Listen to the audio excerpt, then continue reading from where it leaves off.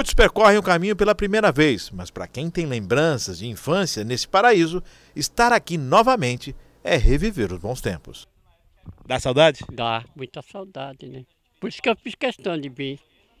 Depois de tanto tempo, estou aqui de novo. E subiu tranquilamente. Tranquilo, tranquilo. Recomendo o passeio? Recomendo, ótimo.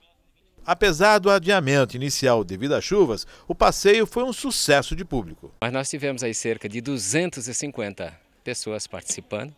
É uma festa porque o dia ajudou bastante, não temos aquele calor tão forte e também não estava chovendo naturalmente, então as pessoas subiram de uma forma muito tranquila e a gente prova mais uma vez que aqui nós temos esse potencial imenso a ser explorado e que é preciso que os cubatenses tomem consciência disso e se apropriem desse bem que é de Cubatão.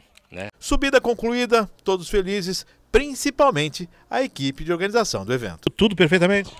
Melhor do que nós esperávamos. Agora é preparar para a descida. A descida vai ser mais tranquila, mais suave, porque você sabe que para descer todos ajudam. No caso do vereador Roxinho, Santiago de Compostela ainda não, mas o caminho da Serra do Mar.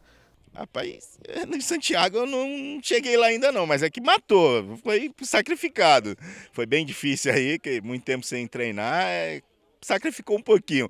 Mas compensa, né? Mas compensa com as belezas naturais, os monumentos e, e a história, a história da cidade de Cubatão com essa beleza natural que é a nossa, a nossa Serra do Mar, a nossa Estrada Velha da cidade de Cubatão. 80% pertence a Cubatão, não a São Bernardo. Essa é a grande realidade.